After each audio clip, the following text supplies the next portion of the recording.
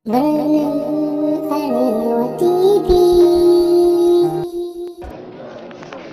Allah ko mai wani irin farin ciki za a ƙara bayyana game da wannan irin arewa entertainment da yi da development a wurin da take sani to ka lura ni matashi ne wanda ina ƙoƙarin to muna godiya ƙwarai da gaske. rayuwa akwai injiniya wanda Jamilu ka lura wayanda suka shirya wayannan abubuwan matasa ne su ma masu son su ga sun gina junansu domin samun mafita a rayuwa.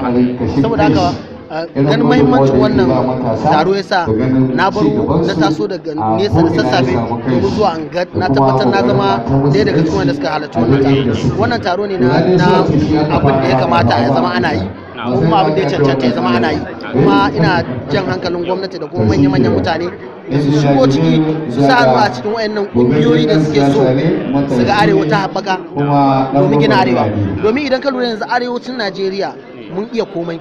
Mu ne da malamai mu ne da attajirai mu ne da masu kuɗi mu ne da komai da komai amma kuma mu ne ke tattare da bakin bayahudiyar talauci. To abin da ya kawo wannan shine ba mu jajirce ba ba mu tashi tsaye ba ba mu tsaya tsayin daka domin mun taimaki junanmu ba. Saboda haka ni na farin ciki da wannan taron kuma ban iya misalta a'a irin farin cikin da nake yi. Kamar misali matasa irin musu kuma wasu kira kai musu wani su ina kira ga matasa mu tashi tsaye mu nema na kanmu. Mu tashi tsaye mu daina jiran wani kar mu yadda da wani zai iya mana mai yarda Allah zai amma mu fita mu tashi tsaye mu jajirce. Daga lokacin da muka jajirce Allah ya za mu da zama cikin Allah ya nasara kuma za mu samu nasara a tafiyar mu bi izinin Allah ya saka. Akwai sauran da za mu